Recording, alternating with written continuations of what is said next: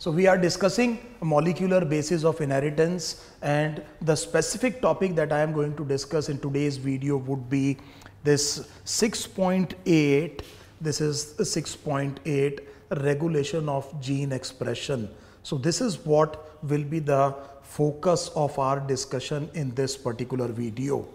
So, first and foremost let us understand that what exactly is gene expression, what are we trying to regulate so can you can you see the topic? The topic is regulation of gene expression. That means you are regulating this thing and therefore we must first understand that what what is actually gene expression. Gene expression is something that we have done till now.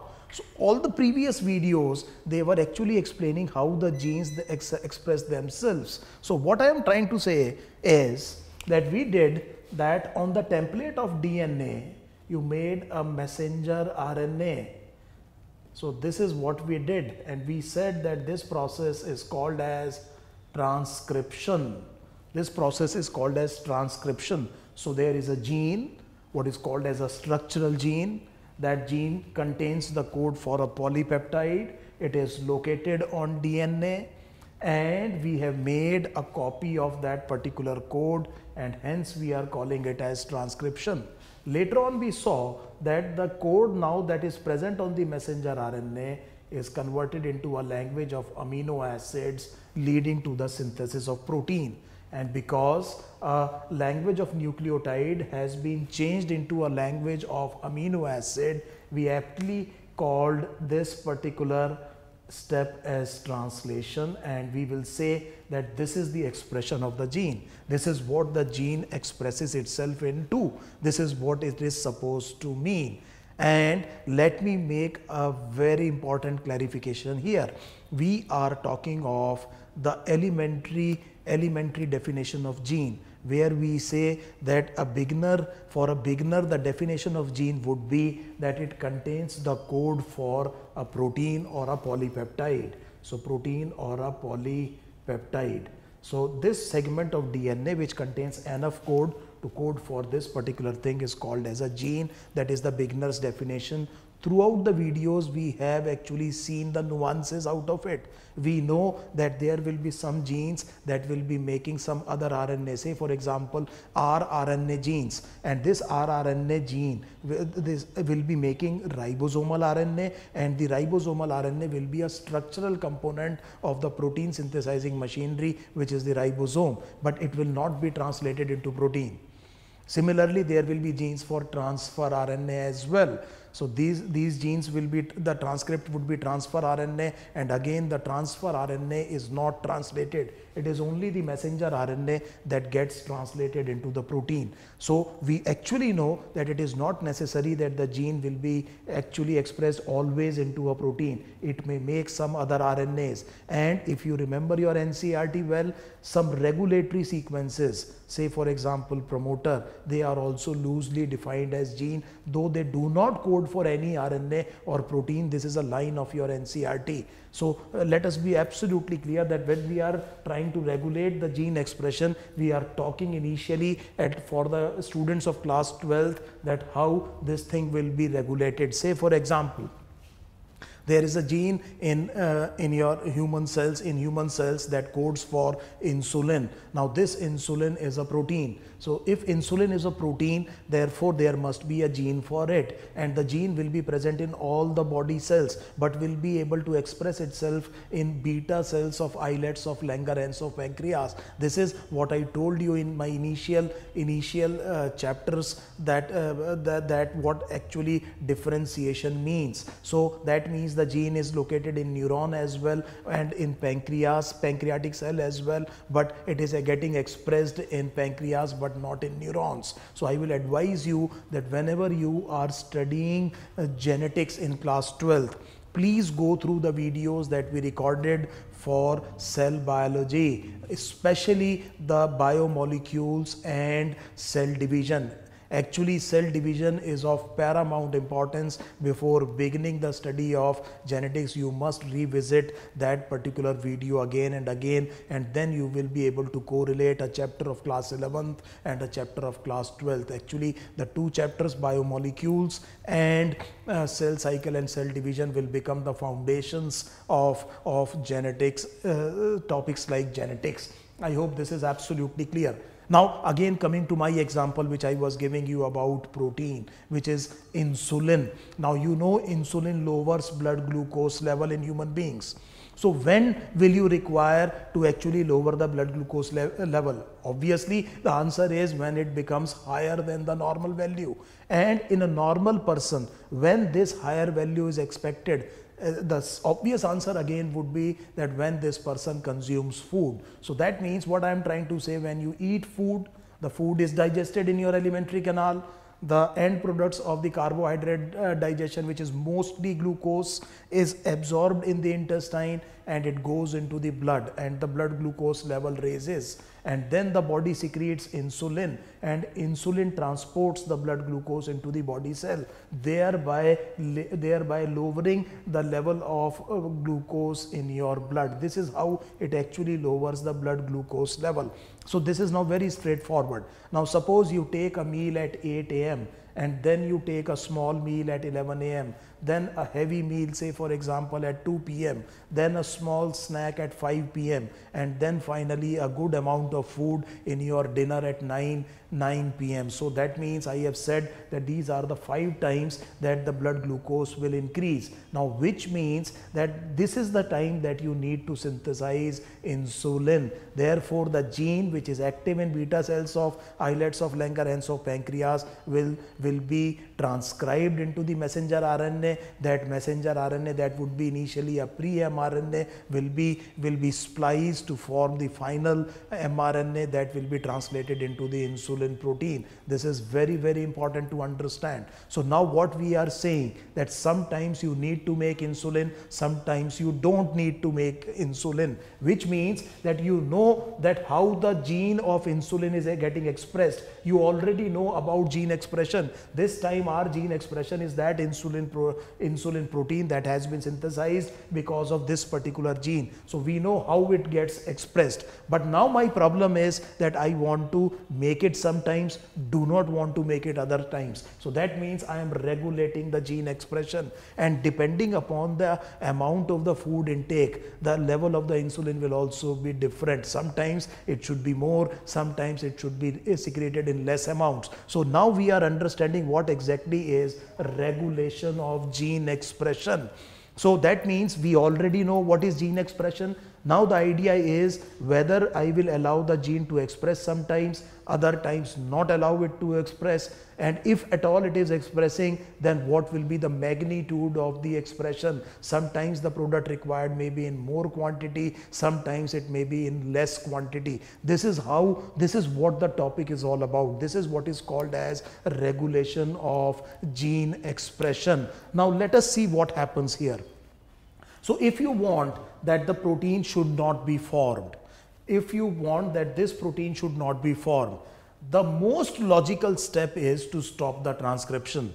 So this is the most logical step. So that means you will like to regulate you will like to regulate gene expression at the level of transcription because it does not make much of a sense that you allow transcription, you let there be splicing, say for example, the formation of the final messenger RNA and then do something to stop it because this will be a wastage. This will be a wastage of resources as well as energy. So that is not prudent. So that means it makes sense that if I want to regulate the gene expression, it should be at the level of transcription and even at the level of transcription I would like that the gene expression should actually be regulated more precisely at the level of initiation of transcription.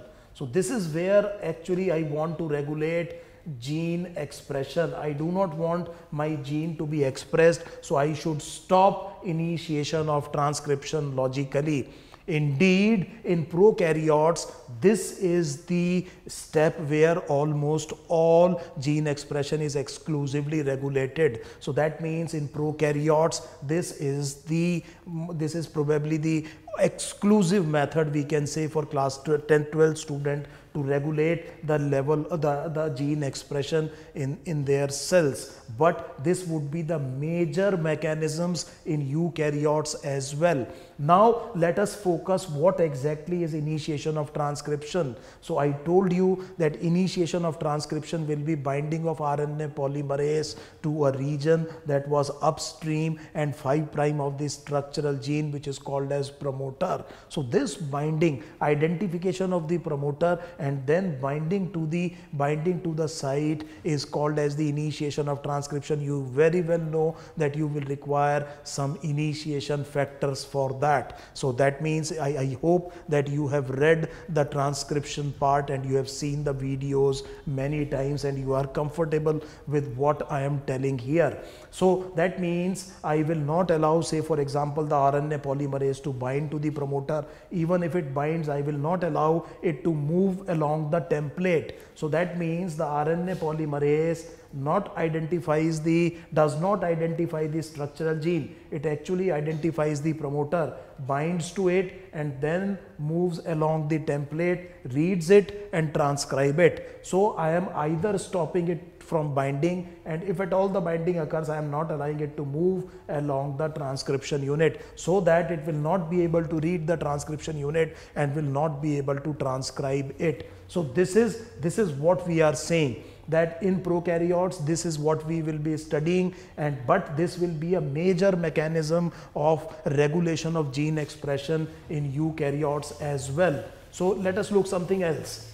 Uh, uh, what, what else can happen in eukaryotes say for example.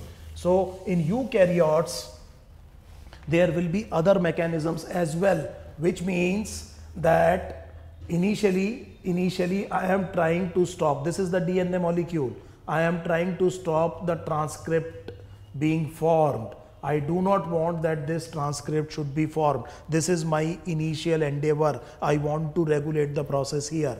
But in case I am unable to stop it, even then, even then I can do something with the pre-mRNA. Say for example, it is not allowed to splice or it is not allowed to go to the cytoplasm through the nuclear pore. So I am interfering with the transfer of the mRNA that actually got transcribed. I failed to stop the transcription. Now I can do something here. I can destroy it. If that is not possible, I will interfere with the transport of this messenger RNA into the cytoplasm because I very well know that actually the synthesis of the protein will be will be the function of ribosomes and these ribosomes will be the in present in the cytosol. So this is so anything anything that can interfere with the formation of protein can be used as regulation of gene expression. Even in prokaryotes there is an another thing, thing available. Suppose this messenger rna could not be stopped then it can be destroyed in cytoplasm with the help of double stranded RNA watch my words what i am saying i can actually i can actually destroy or stop this messenger rna from being translated with the help of double stranded rna you will study about this particular concept in your biotechnology uh, chapter where there they will be teaching you how to make pest resistant plant. And there would be a phenomena of rna interference that has been described there.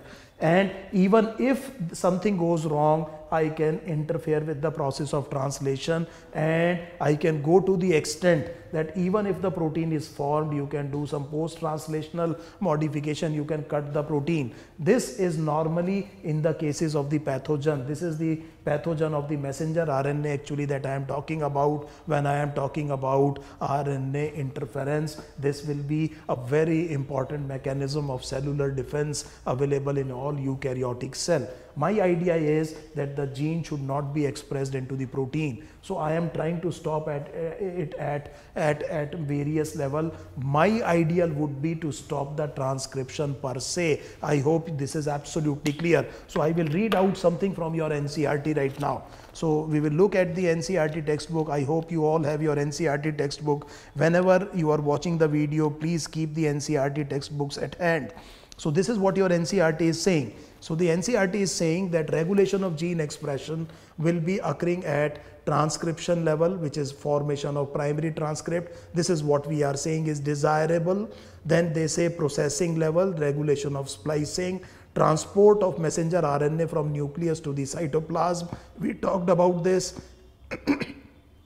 And the translation level. So these are the four levels that are actually given in your NCERT. So this is what I have I have in general told you about. So this is how the gene expression can be regulated. We want this protein to not to be formed say for example because it is not required and in some cases actually the pathogen messenger RNA may be getting translated which will be detrimental to the health of the cell and uh, hence to the health of the organism of which this cell is a part of. I hope this is absolutely clear that what exactly is actually meant by regulation of gene expression. Now we will focus our attention on our syllabus. That means we have to study clearly the regulation of gene expression in prokaryotes. And in the next video we will have a general idea that how what are the problems faced by the eukaryote uh, by a prokaryotic cell. Remember it is a simple unicellular organism. And then you can scale up your imagination